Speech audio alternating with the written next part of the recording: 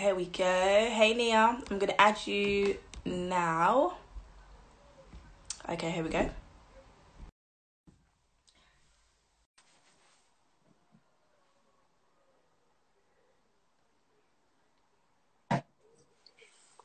Right, hey, How are you? how are you? You look lovely. Thank you. Your skin is radiant. how's it? It's going really, really well, thank you. How about yourself? I'm good. What are we, week nine? I know it's been a it's been a long it's been a long time. Yeah, It's been a long time. on here. Pardon? Thank you for having me on here. No, thank you for wanting to be on here. This is, um, I was saying earlier before you came that this is my new series where we're just going to be keeping up with special guests and their mental well-being. It's just chilled vibes, something relaxing where we can just get to know each other and support each other during these uncertain times and just uplift people. So, thank you so much for wanting to be a part of this. Worries. So, before we begin, how are you, Nia? How have you been? How have you been? Um, there's reggae music playing in the background and it's distracting me, so I just need to go turn it off. Okay, that's fine. hey everyone, thank you guys for joining. There we go. I don't know how it got loud by itself. You know, some are like louder than others. I was like, oh, my brain stopped focusing on that. Um, I'm doing really good today. Like yesterday and today were a bit weird for me. Okay. and it just gave me time to like reflect and just think about the direction I want to go into hmm my career and things that choosing things that make me happy versus choosing things that feel safe. So Okay. I had to go with what made me happy. But other than that, I feel good. I feel very creative and I'm really enjoying like spending time with myself. Mhm. I've had time with self in a really long time. It feels so nice to just get to know myself without people, distract, a routine, anything like that. It feels really Yeah, definitely. And it's nice to hear that you actually are enjoying, you know, quarantine and just having that time to be by yourself and just kind of get to know yourself because that's one thing that we actually now have time to do is to really get to know ourselves and really kind of connect with ourselves and just be gentle with ourselves during this time. yeah. So it's nice that you're also enjoying that as well. Um, oh, I'm seeing a lot of love hearts. Thank you guys. Thank you, guys. I know recently you partnered with Boots, where you were also speaking about mental health and self care. Um, how was that for you? How did you find that? Um, it was actually a really fun video to make because I love creating, but it wasn't for me, it was for their platform. So usually Yeah. consider my aesthetic and my brand, but because it was for them, it was a bit of a challenge because they obviously had their requirements. So Mm. I had brief and it was very specific. Um, so like creatively, it was fun, and challenge, and then seeing video like be edited by someone else, it was nice to offload that Mhm. control we have to everything I do. So yeah, it was really fun. Yeah, and, it looked very fun. Even when I watched it, I could see your creative side and the Oh, different thank- activities that you enjoyed doing. I know you mentioned a lot of things that we will kind of speak on today. Um, so during quarantine, how have you been feeling mentally? Um, it's varied. I Mm-hmm. don't start saying as an excuse to say I'm a Gemini, so I have two sides or whatever. Week, I was like, wow, I've got, I didn't know how much time we had. I, I predicted we'd only been quarantined for a month. So I was like, wow, we've got, like, I'm going to create so much content because obviously I salon and I neglected my social media job so much. okay. Create every day, all this, do this. And then the second week, I was like, wait, what's going on? This this is like crazy. I haven't had this time for a long time. I'm very very hectic, unhealthily. Uh-huh. So now having to adjust my mind to teach it that today you're going to wake up and the biggest activity you're going to do is make. My brain was like, oh, this isn't good enough. Like you need to be making money. You need to be Mm. customers happy. You need to be creating. It was a war having these two voices fight, and I was like, all right, guys, calm down. And I then created this routine where it wasn't really a routine, but I'm gonna wake up and whatever I feel like doing, I'm gonna do. So if I, I was like, today I want to make five YouTube videos. I'm rolling with it. I'm not going to question it. And then if I wake up the next day and had those expectations to make the videos, but I feel like it, I would forgive myself, accept that, and do what I like doing. So that was the routine I set, and now it's really helped because, for instance, today and yesterday, it's been about admin and like being by my laptop. But then tomorrow, because I've done all those things, even though I can't predict what energy tomorrow will bring, I yeah. anticipate that it will be for the creative side. So that's how I've been doing that's it. Lo- that's lovely to hear, and it's really inspiring. And I love how you said, you know, tomorrow you don't know what energy that will bring. So it shows that you're a very spiritual person, and that you really kind of go with the energy and go with the flow. And I think, you know, that's very important, particularly with how you said within your routine, you know, you go with the flow and you do what you feel like doing. And yeah. if you don't get to do it, you forgive yourself. And I think that's so important to just go with the flow and just go with what your mind and your body's saying for you to do. So I hope that everyone watching will kind of take note from that and just kind of not put too much pressure on themselves and just go with the flow because tomorrow is uncertain for everybody. So we have to just start listening to ourselves a bit more and start, you know, working with our mind and our body connection. Yeah. So have you been quarantined by yourself or have you? By myself. Mm-hmm. That's good. That's good. Okay. So, in relation to quarantine, then, what have you been getting up to? So, what would be a day with Nia during quarantine? Um. Wait. I see this really long question. How? You want to scroll up afterwards and do questions, or you want to do them as you go? Okay. What we'll do, we'll okay, we'll turn off the questions, and then once we finish our conversation, everyone can kind of put some questions in. Um, yeah, so just that I don't get distracted. But yeah, sorry about that. Um, a typical day. So I I always wake up with the sun, like, and my apartment's so bright. So usually I always wake up like really early, like seven a.m. sometimes, and I get so excited because I'm like, the whole day, like, and I can do whatever I want with it.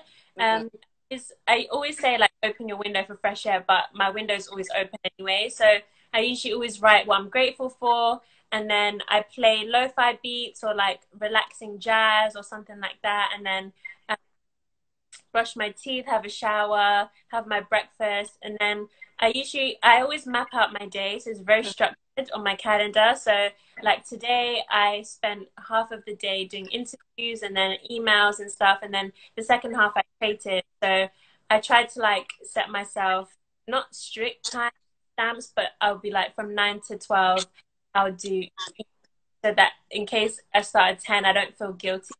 And then I'll try to use food um, times as a way to keep myself balanced. So like knowing by midday to one, I have to have lunch, or else my stomach by two. and by six to seven, I have to have dinner. But obviously today, because the live, I'll have it later. So I try to go with the flow of like food, maybe.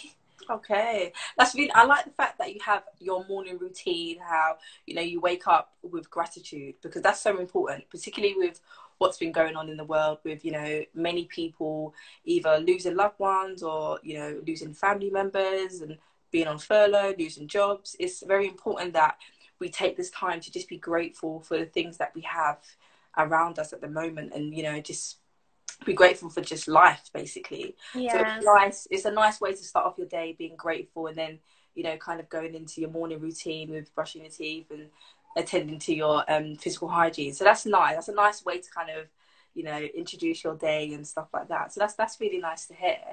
Um in relation to self-care so for me i have been literally self care, self care every single day. I've been actually implementing new techniques to my self care. So, for yourself, in relation to self care, have you been implementing any new techniques or have you just been adapting to your original self care routine? Pardon me. Um, I I used to be really big on like uh, self care Sundays, but then I opened a salon and I started working at the salon on a Sunday, so that left. self care isn't one day only, and it mm-hmm. does not mean facials and deep conditioning your hair. Like it's a variety. even saying no, it's turning your phone off, it's going for a walk. Like self care is defined by the individual. So the recent things I've adapted routine is I like to wear nice clothes when I'm at home. Oh, nice. Good. I, like I'll literally walk up to the mirror and be like, "You're good," and then good, and then can move through the day like just waltzing around my house, like feeling like one cute, cute. I like that. in that, and then I also I feel like if I at least do my eyebrows and do a little lip balm, like I feel good as well on the physical. And even though my exterior doesn't define me, but knowing that I look good will help me feel more productive. It's like if I'd go out on a normal day, if I wear like sweats and clothes that don't enhance my figure or that aren't vibrant or that don't give me a positive memory or whatever, I won't feel good walking around the street. Whereas if I wear jeans that make me have a bounce in my step or like a cute shirt or whatever, then I want to continue moving around the day. So that's just how I try to look at it. Like if I was in the outside world, what would I do? Yeah. And, um, into music, but music, so reggae, Brazilian music, um, lo-fi beats. So I try to incorporate sounds because I'm consuming it subconsciously. So I try not to have like swear words or just music of today. Like I like old school music. It's mm-hmm. gives you positive energy. Mm-hmm. And eating as well. Like um, I love to have fruits, water. I I literally like I eat so much. I was like, the more I buy, the more my skin breaks out, and then it's a cycle. So yeah, just like little things, I guess. Oh, that's lo- that's lovely to hear. And I like especially how you mentioned about memories when you said you know you wear things where you can create a memory and create that feeling mm-hmm. and i think that's really special because i've never heard anyone say something like that so it's really special to kind of you know create memories for your days and you know however creative you want to create your memories whether you do a hairstyle or you do a certain makeup or mm-hmm. dress nice or wear different pair of heels or shoes it's nice to kind of create that memory so you know you can look back and say you know i felt good that day and i looked good that day yeah. and it's all kind of you know elevating your psychological well-being so i really do like that and i'm going to actually give that a go myself that's the real thing i learned that in Uh, like when you literally take your mind away from reality so like this top i remember i bought in cape town and on that day i got the best ice cream and then my shorts i brought in croatia so I remember going to like this alleyway and being in a vintage shop and I found it and I was like, oh my god, I need these because I'd run out. I was living on a boat and I didn't expect to like need clothes but bare minimum. So me wearing this today, I'm like, I remember Cape Town, I remember Croatia, and it gives me good memories. So, that's nice. Yeah, that's why I like to do that. That's nice. And I guess even when you're looking in the mirror as well, you can kind of take yourself back to that time, you know, where you were on holiday. Um, so, you know, if you were having a bad day, look in the mirror you know these mem- these clothes give me good memories when I was here doing this. So that that's really nice, and I really like that. Um, I hope you guys listening take that on board, and you know really find your creative side because I believe that everyone can be creative, and it's just about knowing what you love and knowing what you enjoy doing, and implementing that into your creative self care toolbox or toolkit. Yeah. Um, in relation to eating, I know you mentioned about eating, eating healthy. Mm-hmm. Um, what has been your go-to during COVID? Have you had a go-to where you always guilty pleasures, or have you just kind of been eating Definitely healthy?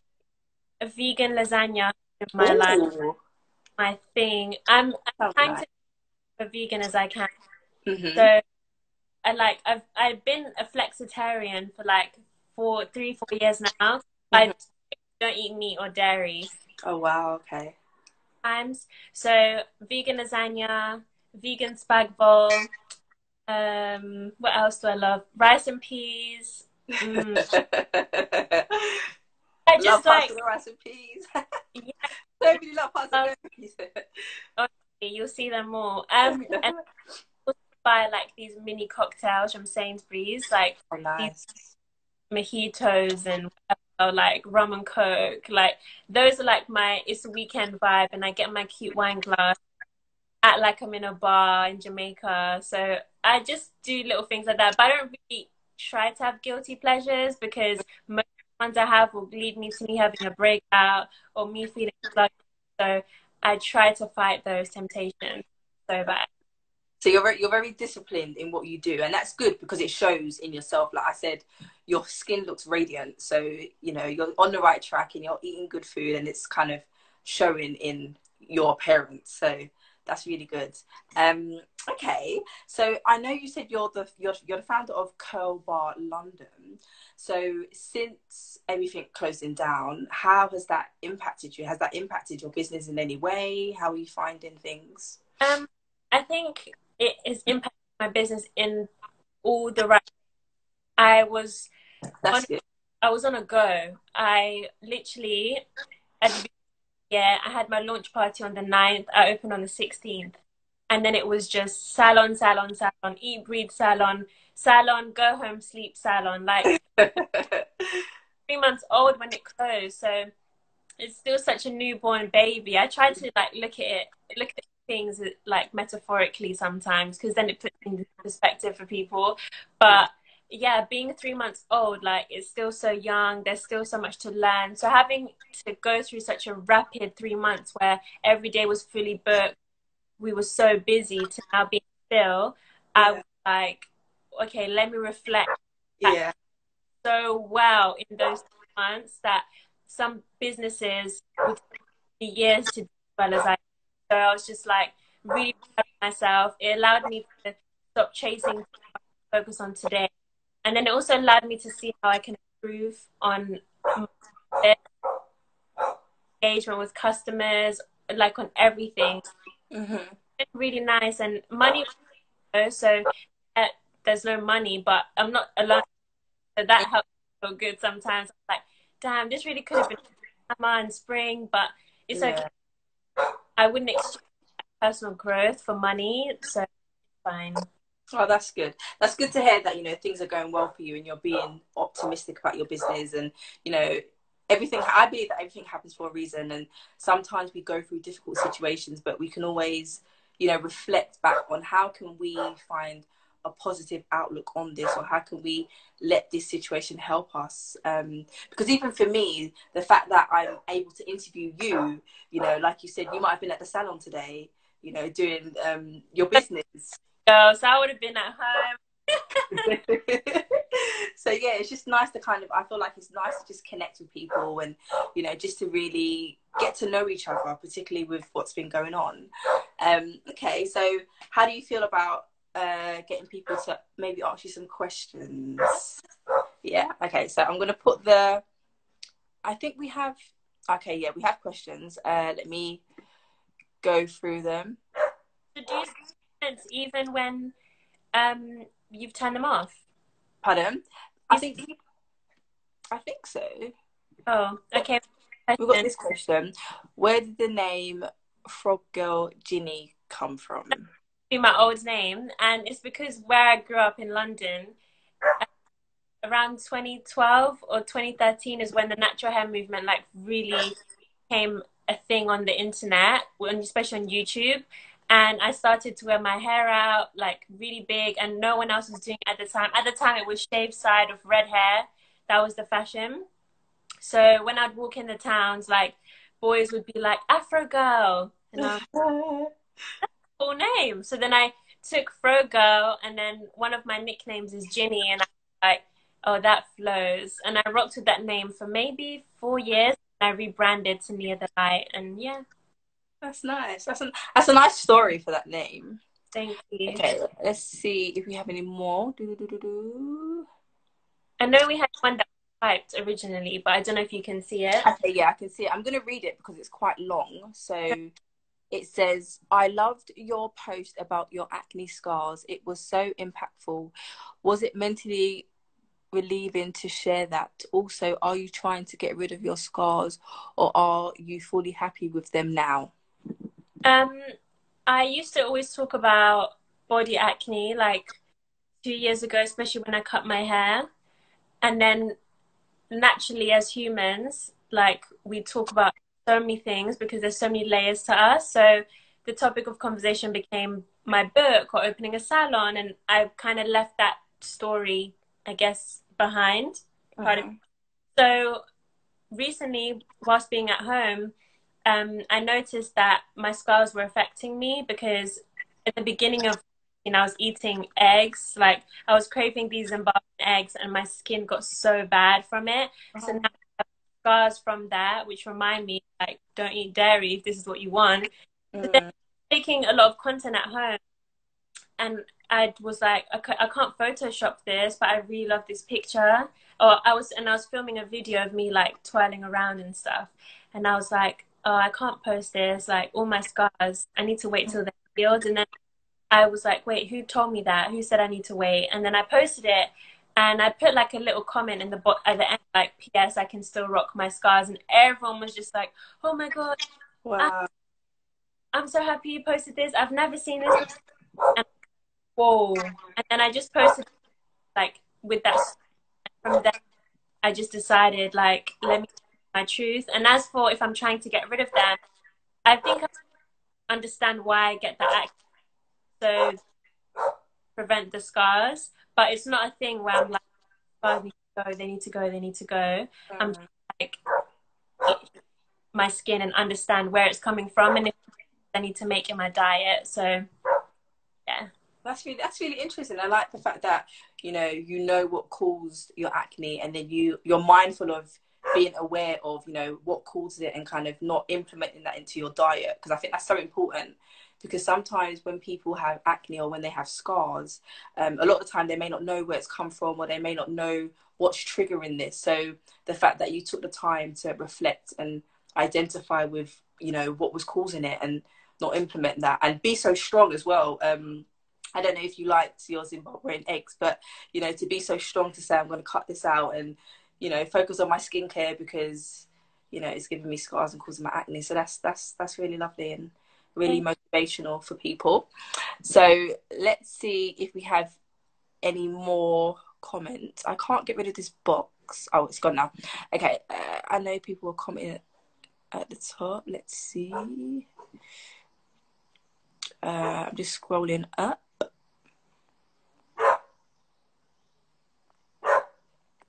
So one question, how did you feel opening your salon?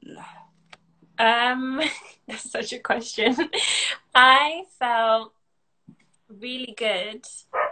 And then when I opened it, I was like, oh wow, no one prepared me for this. Like so stressful and in good reasons because I was busy, but with business become comes putting other things for yourself.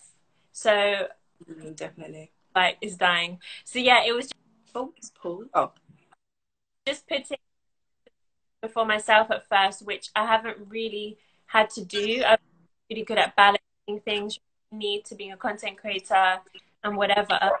Being a different game that I did and with a salon owner who told me this is what you need to expect. Like this, I did speak to Mono's Hair, who's an amazing mentor, but she was obviously by herself Mhm. Coming from that space, but to hear advice from someone who's my age and who was employing people, but also a boss and also a content creator and also an author, like wow. stories. So I was just, how am I meant to juggle all these All at the same time? And oh, it was a lot. So yeah, it, um, overall, it was a great experience. It felt great, but it comes with challenges that also balance out the greatness. Mm. And I think I think that's good because in life we do need balance, hmm um, and sometimes we are going to feel quite fearful, but we have to just feel the fear and do it anyway. And you know, eventually we will see the growth and the success from what we've done, and it will balance out all of the sweating, all of the tears, and we'll be grateful for everything that we've been doing. Yeah. yeah, that was a nice way to end today's conversation. Thank- Once again, thank you so much for speaking with me about mental health, self care, and I really do hope that you continue to stay positive and wake up with your saying your your great gratitude. Um, and yeah, just take care, and hopefully we will speak to each other soon. Thank you for having me. Bye. No worries. Bye. So, thank you everyone for joining today's live. I hope that you guys enjoyed our first series of Keeping Up With. I will announce tonight our second guest, who will be tomorrow. So, stay tuned and I will see you guys soon. Bye.